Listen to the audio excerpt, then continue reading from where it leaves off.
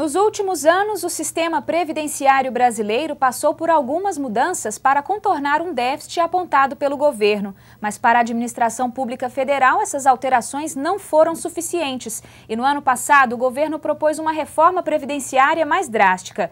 Entre outras medidas, ela pretende aumentar o tempo mínimo de contribuição para a aposentadoria, modificar o cálculo do benefício e acabar com algumas vantagens atualmente concedidas aos trabalhadores rurais e também às mulheres. Para explicar e opinar sobre essas mudanças, o Na Forma da Lei convidou o doutor Fábio Marchetti, ele que atualmente é procurador da Assembleia Legislativa de Goiás e antes atuou como analista do Seguro Social. Olá, procurador. Muito obrigada por vir ao Na Forma da Lei e prestar seus esclarecimentos sobre esse importante assunto. Agradeço o convite, né? Gostaria de também cumprimentar os telespectadores do da canal Assembleia, aqui da Assembleia de Goiás, né, que tem levado conhecimento e informação a população do estado de Goiás. A reforma da Previdência Social, ela é mesmo necessária e urgente no Brasil? Eu entendo, sim, que o contexto que nós temos vivido no Brasil, né, questão mundial também, né, é, eu acredito que a reforma da Previdência, ela, é, ela é urgente e necessária, né, embora esse momento né, de, que tem, o Brasil tem passado por questão da corrupção, dá a impressão que é o, quem vai pagar a conta é o trabalhador né, mas ela é, uma, ela é uma reforma, ela, ela é realmente necessária. Né? A despesa previdenciária do Brasil, com relação ao, ao produto interno bruto, está bastante alta. Né? O Brasil tem uma população de, de, pessoas com 65 anos de idade ou mais em torno de 7%. E se gasta 13% do PIB com, com despesa previdenciária. Se pode fazer uma comparação com outro país, por exemplo, Grécia e Portugal, gasta por, é, praticamente a mesma porcentagem do PIB, em torno de 14%. Só que para uma população de idosos de, de 65 anos ou mais, em torno de 20%. Né? O Chile, que seria, teria uma população parecida com a do Brasil de idosos, em torno de 10%, gasta apenas 5% do PIB com previdência. Então o Brasil está, um percentual muito grande do PIB está sendo gastado com previdência. Né? Segundo o Ministério de dados também do Ministério do, Planejamento, do orçamento do ano de 2016, que foi gasto com regime geral, benefício assistencial e inativos, consumiu 54% do orçamento. Então, se continuar sem a reforma, a projeção é que 2026 chegue a despesas né, com, com, com, a parte previdenciária, chegue a 82% do orçamento, que, taria, que, que inviabilizaria toda a gestão. Né? E a questão também do déficit da Previdência. Né? Conforme dados do, do Ministério do Planejamento também, no âmbito do regime geral gerido pelo INSS, o déficit de 2016 foi em torno de 149 bilhões de reais. Tanto a Previdência Rural foi um déficit de 100 bilhões e até a Previdência Urbana, que estava tendo superávit até 2015, também teve um déficit de 46 bilhões em 2016. Provavelmente né, devido à crise econômica, né, a demissão dos empregados, reduziu bastante a contribuição também no âmbito da Previdência Urbana. No âmbito dos regimes próprios, a situação não é diferente. No regime próprio da União, o déficit ficou das pensões dos servidores públicos federais, a aposentadoria dos servidores públicos federais, ficou em torno de 77 bilhões de déficit. E foi pegar os estados e o Distrito Federal ficou em torno de 89 bilhões. Então, a questão do déficit ela realmente é real, né? ela está crescente então precisa ser feita uma reforma. E outra questão também é a questão da demografia brasileira. Né? Se a gente fosse comparar a pirâmide etária brasileira dos anos anteriores, a gente vê que realmente era uma verdadeira pirâmide, com a base larga e um topo estreito. Né? Nosso sistema de previdência, que é um sistema de repartição, onde as aposentadorias atuais são mantidas por aqueles que estão na atividade hoje, então quanto mais trabalhadores nós temos na base, e uma menor população é, dá uma melhor sustentabilidade do sistema. Mas vendo as projeções do próprio IBGE para 2030, haverá um estreitamento da base da pirâmide e um alargamento do topo. Ou seja, isso por causa, está vendo o quê? Uma queda na, no índice de natalidade e um aumento na expectativa de vida. Então, no futuro, nós teremos menos pessoas trabalhando para sustentar uma população ah, de, de, de beneficiários ainda maior que, e, e os estudos mostram que a expectativa de sobrevida a partir dos 65 anos, né, que, é o, que é o partir de quando a pessoa está aposentada, no Brasil já está em torno de 18 anos e meio. Então, é um período muito longo que esse benefício vai ser pago. Então, estruturalmente, se não for nada for feito, vai ficar insustentável o sistema. Agora, procurador, muitos especialistas afirmam que esse número hoje ele só não é superavitário por causa da desvinculação de receitas da União.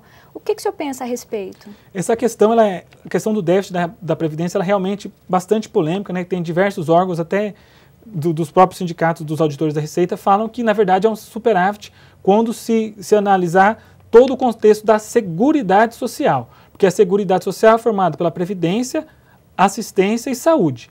Né? Então eles falam que quando colocasse todas as contribuições do, da Seguridade, haveria um superávit. Mas o, segundo os dados do próprio Ministério do Planejamento, né, mesmo que incluísse toda a questão da Seguridade Social, ainda assim haveria um grande déficit, e às vezes até maior que fosse levar em questão da Previdência. Agora, a questão da desvinculação da Receita, né, é um mecanismo né, que, que a Constituição autoriza que a, que a União gaste até 30% das da, da, da receita, é, que seria obrigatório para alguma área, ela pode usar 30% desse valor. Então, muitos falam que se o governo tivesse usando 30% desse valor arrecadado da Previdência em outras, outras fontes, né, para pagar outros, outros despesas, haveria um superávit. Mas olhando o, também um gráfico também disponível no, no, no site do Ministério do Planejamento, tem uma tabela lá que mesmo que se não houvesse a desvinculação da receita, ainda assim haveria o déficit. Então, mas é uma questão complicada que é a questão de fontes, né? Mas olhando a fonte oficial do governo,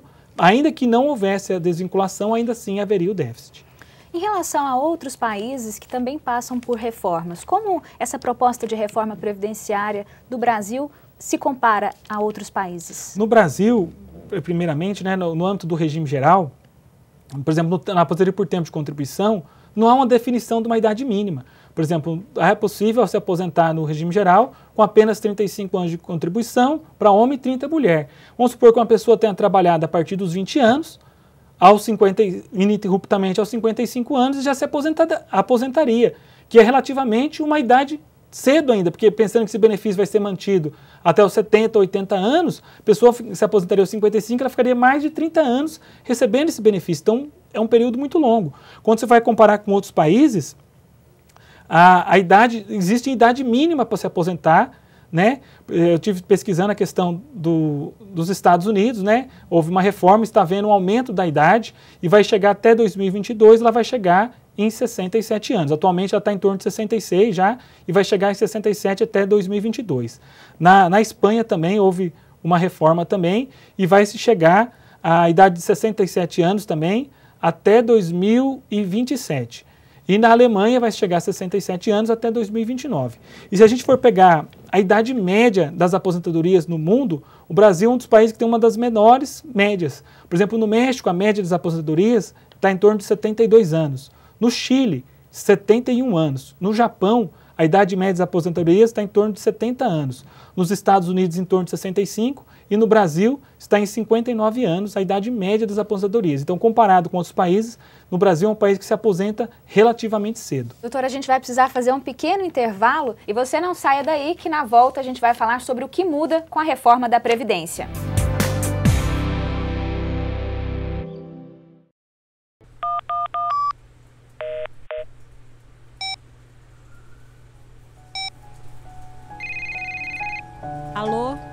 De saúde não pode ser uma dor de cabeça para os segurados.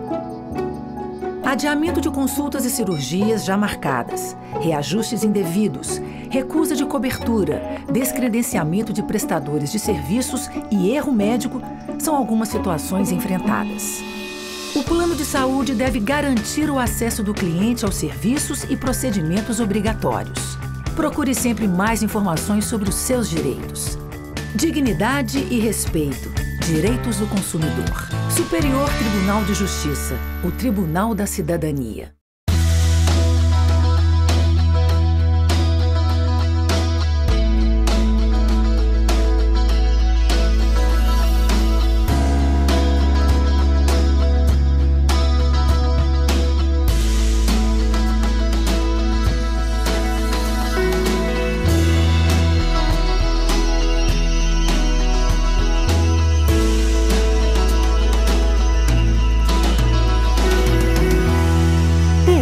Assembleia. Informação com credibilidade.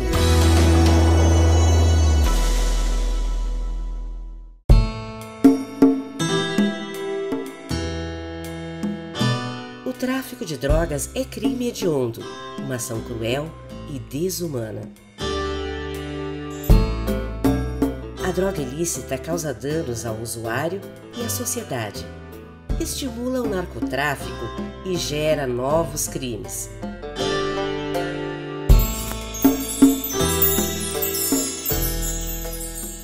Cometer o crime, mesmo que seja pela primeira vez, não diminui a gravidade do delito e não impede a aplicação das penalidades previstas.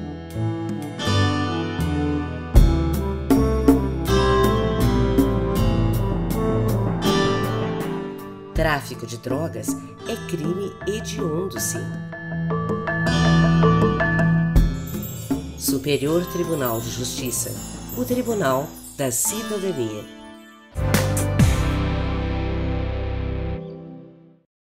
programa Na Forma da Lei está de volta e agora no segundo bloco vamos falar sobre as mudanças previstas na proposta de reforma da Previdência.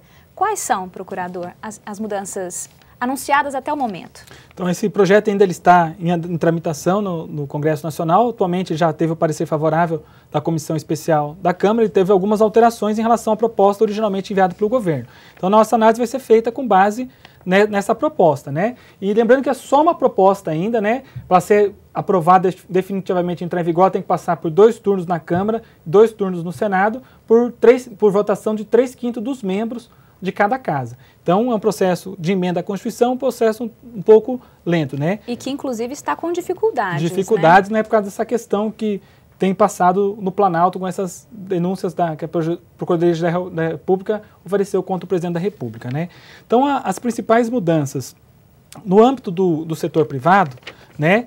Vai ser o, o, o incremento de um, de um tempo mínimo de contribuição né, vai se acabar com a aposentadoria por tempo de contribuição desvinculada de qualquer idade. Então agora passa a ter uma única modalidade, como regra geral, de 65 anos de idade para homem e 62 anos de idade para mulher, com tempo de contribuição de 25 anos. Então já há uma majoração na idade da mulher pra, de, em dois anos e um aumento no tempo de contribuição de 15 para 25 anos. Essa é a regra geral. Né? Lembrando que tem algumas categorias especiais, como os professores, né, que vão ter uma idade diferenciada, professor que exerceu atividade na educação infantil e no ensino médio e fundamental, exclusivamente nessas áreas, a idade será reduzida para 60 anos, exigindo tempo de, magistério de 25 anos. Né? E a questão de pessoas que exercem atividade de condições especiais e os portadores de deficiência vão ser, vão ser submetidos a uma regra diferenciada também. Uhum. A respeito do cálculo do benefício, isso também vai mudar? O cálculo do benefício vai, vai ter uma mudança né, significativa. É, a questão hoje, como que é feito o cálculo? Hoje ele é feito com base na média das contribuições que a pessoa verteu ao longo da sua vida laborativa e efetuava-se um desconto dos 20% menores contribuições. Então, fazia-se a média de apenas dos 80% maiores salários. A partir da, da reforma, né, a, a, referência utilizada até que a lei, que a, a PEC, ela disciplina que, a, que a, o cálculo da aposentadoria vai ser feita com referência com base na média das contribuições selecionadas na forma da lei. Então isso vai ter que ser regulamentado, mas a, a própria PEC ela traz o quê? Que até que haja regulamentação, a, o cálculo do benefício vai ser feito agora com 100% das remunerações é, vertidas pelo segurado durante sua vida laborativa. Então, tudo que ele contribuiu a partir de julho de 94, que é a data de início do plano real, vai entrar no cálculo do benefício. Não vai haver mais esse desconto de, dos 20% menor. Então, aí já dá uma limitação no, no valor do benefício. E o outro ponto o quê? Que antes, com exceção dos casos que tinha o fator previdenciário no regime geral, né, era pegar, pegava-se essa média cheia. Agora não. A pessoa que se aposentar aos 65 anos de idade, 62 anos mulher, com 25 anos de tempo de contribuição, vai pegar apenas 70% da média. Então vai fazer essa média, vai pegar para o cálculo, para definição do valor da aposentadoria, apenas 70%.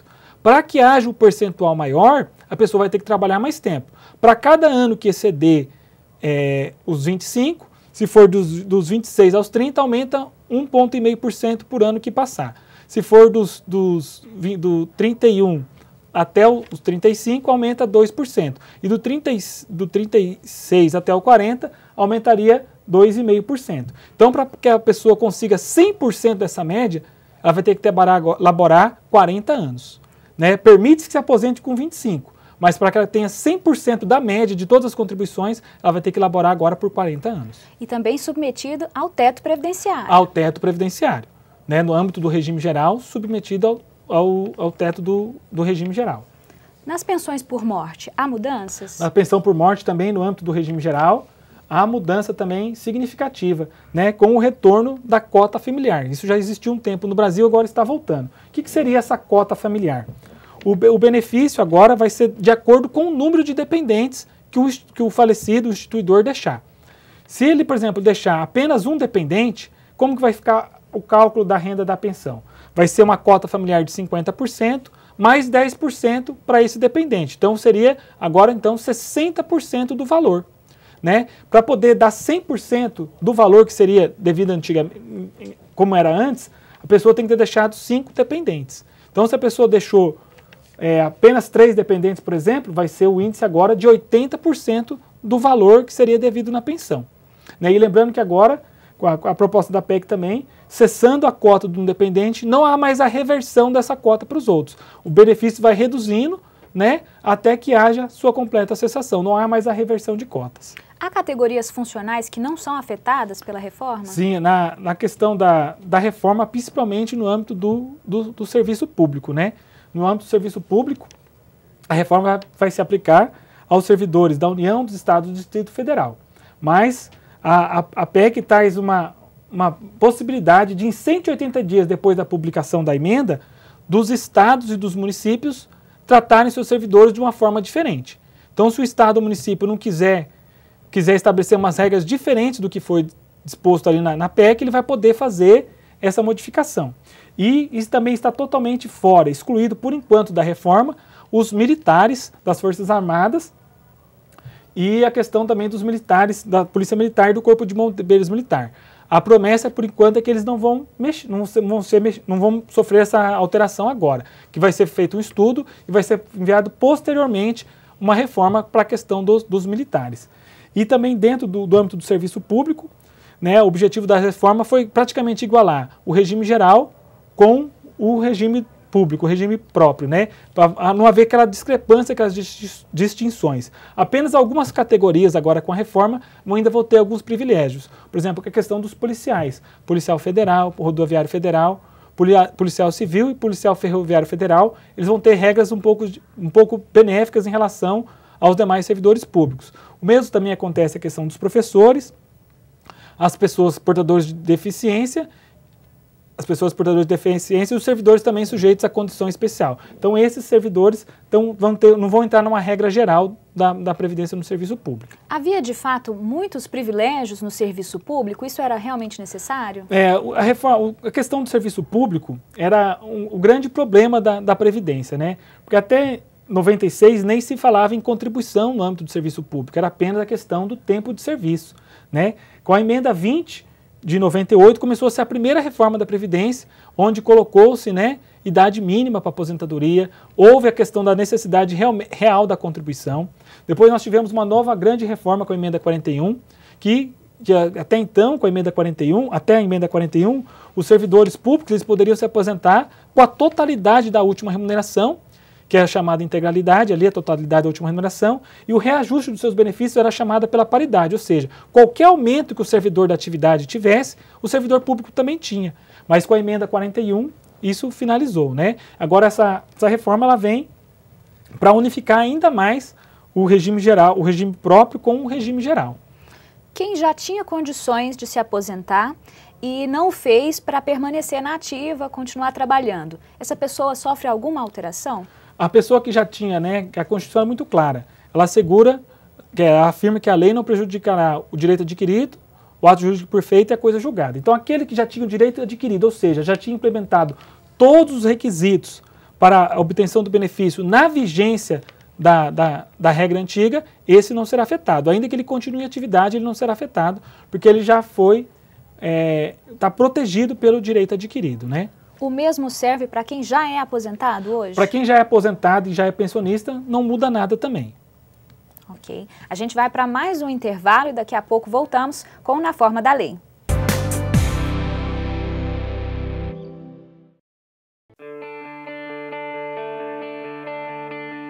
Computadores, tablets, celulares, aparelhos de TV e vários outros eletrodomésticos novos estão no topo da lista de reclamações por defeitos de fabricação. O melhor é checar a garantia e os prazos para devolução. Você tem direito até de trocar o defeituoso por um novo ou receber o dinheiro de volta. Os produtos e serviços devem ter padrão adequado de qualidade, segurança, durabilidade e desempenho. Procure sempre mais informações sobre os seus direitos. Dignidade e respeito. Direitos do consumidor. Superior Tribunal de Justiça. O Tribunal da Cidadania.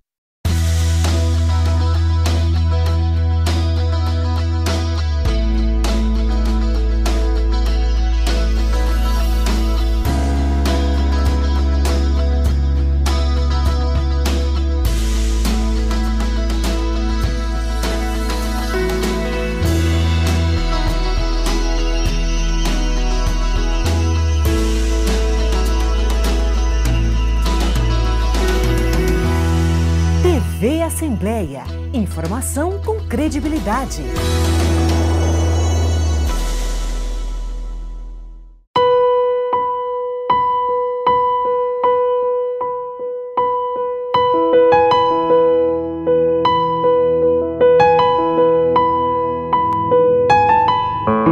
Se você se identifica com essas frases e quer ajudar, venha ser voluntário do CVV.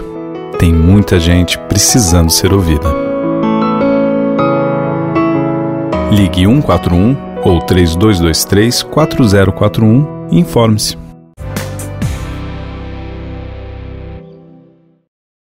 Estamos de volta com o programa Na Forma da Lei, agora para o nosso terceiro e último bloco, falando sobre a reforma da Previdência. É procurador, no bloco anterior nós começamos a falar sobre o que muda, o que deve mudar caso a reforma seja aprovada para os servidores públicos. Vamos fazer um complemento dessa resposta? Então, a questão para os servidores públicos né, vai, também vai ter uma mudança. Né, agora vai ser exigido também 65 anos de idade para o homem e 62 para a mulher, com um tempo de contribuição de 25 anos, além de 10 anos no serviço público e de 5 anos no cargo efetivo em que for se dar aposentadoria. Né? E também a questão do cálculo do benefício também, da mesma forma, né, vai ser utilizado como referência a média das contribuições selecionadas na forma da lei. E até quando não for ditada essa lei, ser, a média vai ser feita com base no quê? No 100% das, das remunerações vertidas tanto ao regime geral quanto ao regime próprio de previdência ao longo de sua vida laborativa. E desse, dessa média também será aplicado o percentual, né? Se a pessoa tiver até 25 anos de contribuição, percentual da, será de 70% da média. Para que seja aumente, para que pegue um percentual maior da média, a pessoa tem que trabalhar além dos 25 anos. Para que consiga 100% da média, da mesma forma que no regime geral, terá que trabalhar por 40 anos. Né? Então, esse é um ponto que agravou bastante. Outra questão também é a questão da pensão por morte, da mesma forma que no regime geral, também agora para os servidores públicos, passa a ter a cota familiar também de 50%, mais 10% por dependente. Então isso já traz uma redução imediata no valor do benefício do pensão por morte para quem for servidor, no caso de vier falecer, a partir da promulgação da emenda. Aproveitando que o senhor falou das pensões por morte, as pensões podem ser acumuladas a aposentadorias? Até então, hoje, era normal a regra de se, se acumular pensão com aposentadoria, não havia qualquer vedação. Com a PEC, passa a ter uma vedação expressa de acumular aposentadoria com pensão de qualquer dos regimes de previdência, então tanto do regime geral quanto do regime próprio. Então, no caso de a pessoa for aposentada já e vier o marido a falecer, ela vai ter que optar, ou vai receber a pensão ou vai ficar com a aposentadoria. Da mesma forma, a pessoa que já recebe uma pensão do marido, né, e, vier, e continuar trabalhando e quando ela for se aposentar, ela vai ter que optar por um dos dois benefícios, né? As pessoas que já acumulam antes da entrada em vigência da, da, da PEC, não, não, há qualquer alteração. A alteração vai se aplicar a partir da promulgação da PEC. A Constituição prevê cargos que são acumuláveis. A maioria não são, mas casos, por exemplo, como professores, Sim. servidores da saúde, podem acumular cargos. Nesses casos, eles teriam duas aposentadorias. Sim. A PEC muda algo em relação Nessa a isso? Nessa parte da acumulação constitucional, não há qualquer alteração. Pode continuar acumulando esses dois, esses dois benefícios. Em relação aos trabalhadores rurais, há mudanças significativas. A mudança do trabalhador rural é basicamente né, relacionada à questão da, da exigência a partir de agora que vai ter da, da contribuição. Né? Porque o trabalhador rural, até então, ele contribui apenas com a questão de uma porcentagem da comercialização do produto que ele tinha, era 2,1% do resultado da, da, da, produção. Então a PEC agora está trazendo a, a, a, proposta de que ele também passe a contribuir de forma individual, mensalmente, para a Previdência. Né? E, só que a, a Constituição, essa proposta vai trazer o quê? Uma proposta de uma alíquota diferenciada, semelhante do que seria para o microempreendedor individual hoje, que seria em torno de 5% do valor do salário mínimo. Né? E a Constituição traz um prazo aí de dois anos para que seja regulamentada essa contribuição. Enquanto ela não for, continua havendo a questão da, da necessidade de contribuir sobre a comercialização. Outra questão também é a, a questão da, da idade também do trabalhador rural, que também haverá alteração, né, que ficará de 60 anos para o homem e de 57 para a mulher. Então há um acréscimo na idade da aposentadoria rural para as mulheres ter direito ao benefício e, e se mantém a questão para o segurado especial dos 15 anos, não vai aumentar para os 25 anos. A legislação atual fazia essa diferenciação sobre o trabalhador rural como uma espécie de política pública mesmo. Qual o impacto social dessa mudança, do ponto de vista é. do senhor? A questão principalmente atinge principalmente o segurado especial, né, que trabalhava em regime de economia familiar, que ele só fazia essa questão dessa contribuição, era como não havia uma contribuição específica, apenas a questão da comercialização. Né? Só que daí o governo viu que, por exemplo, no ano de 2016, o déficit na Previdência Rural foi de cerca de 100 bilhões. Então, tentando reduzir esse número, eles estão instituindo essa, essa contribuição. Né? Uma, vai ser uma mudança drástica, porque desde muito tempo não há qualquer contribuição efetiva e de forma individual do, do trabalhador rural segurado especial, né, que com a reforma passará a haver a necessidade dessa contribuição. É, vamos agora falar sobre as regras de transição. São muitas. As pessoas que já estavam trabalhando há mais tempo, que já têm uma idade mais avançada e ainda não se aposentaram, têm regras diferenciadas. Regras diferenciadas, né? Vão ter regras de transição tanto para o pessoal do, do setor privado, do regime geral, quanto também para os servidores públicos né, vai ter as regras de transição. É, então, como antigamente existia a aposentadoria por tempo de contribuição, foi criada uma regra de transição para esse tipo de benefício. Só que antes era desvinculado de qualquer idade. Agora, pra, nessa regra, para a primeira regra de transição, existe a idade de 55 anos para o homem e de 53 anos de idade para a mulher. E com tempo de contribuição de 35 anos para o homem e 30 anos para a mulher. E ainda a necessidade de um pedágio. O que seria isso? Um período adicional de tempo de contribuição no valor de 30% do que faltava para atingir esse tempo de 35 anos para o homem ou 30, 30 anos para a mulher na data da publicação da emenda. Então, é, a pessoa teria, além dos 35 anos que ela teria que contribuir normalmente, ela vai ter que contribuir 30% a mais do, desse tempo que faltava até a data da publicação da emenda. E a regra de transição também, ela não ficou uma regra de transição fixa, porque a, a PEC vai colocar o quê? Que a partir do primeiro dia do terceiro exercício subsequente à publicação da emenda, vai haver o acréscimo de um ano na, na idade, naquela idade, para poder se aposentar pela regra de transição. E depois essa idade vai se aumentando a cada um ano, a cada dois anos, até chegar ao limite de 65 e de 62. Então agora a, a regra de transição é uma, uma regra móvel, né, que haverá uma alteração na questão da idade. Vamos explicar melhor esse dispositivo. A própria é, PEC, a própria reforma, já prevê o aumento gradativo? Já prevê tanto das regras de transição, né, que vai, vai ter esse aumento gradativo até chegar à idade exigida pra, pela nova regra, e também haverá na, na PEC há uma disposição que, que já vincula a questão da idade da, da aposentadoria ao aumento, já, já, já vincula a necessidade do aumento da aposentadoria. Então, toda vez que houver o aumento na expectativa de sobrevida do, do brasileiro em um, um ano inteiro, haverá também automaticamente um ano de aumento na idade necessária para a aposentadoria. Isso entendendo a média da expectativa de vida do, do, Brasil como um todo. Mas a gente tem que considerar, assim, a lei não vai considerar dessa maneira, né? Mas no Nordeste, regiões do Nordeste, regiões do Norte, por exemplo, têm médias de expectativa de vida diferentes do Sudeste, do Sul. É, com certeza, né? A, a PEC coloca que vai ser essa questão do aumento da idade da aposentadoria vinculada ao aumento da expectativa de sobrevida, vai ser regulado na forma da lei. Né? Mas como vai ser regulado isso a gente não sabe ainda. Mas já deixou um dispositivo né, para que se precisar haver aumento, para que se houver necessidade de haver aumento da idade, não precisar novamente alterar a Constituição, será por forma de lei.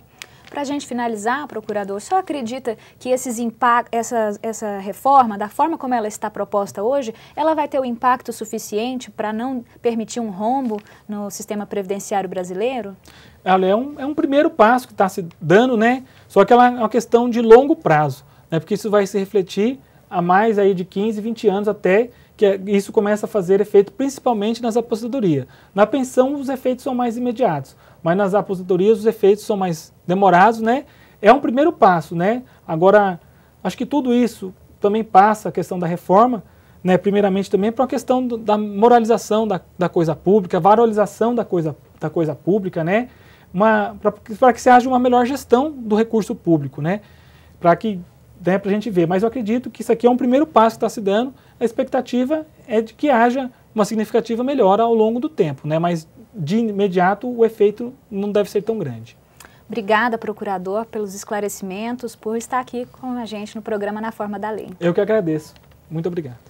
Programa Na Forma da Lei fica por aqui. Você pode continuar acompanhando a programação da TV Assembleia no canal 61.2 na TV aberta, também pelo canal 8 da NET, no site que aparece aí na sua tela e você pode também acompanhar nossa programação nas redes sociais da Assembleia Legislativa de Goiás. Obrigada pela audiência e até a próxima.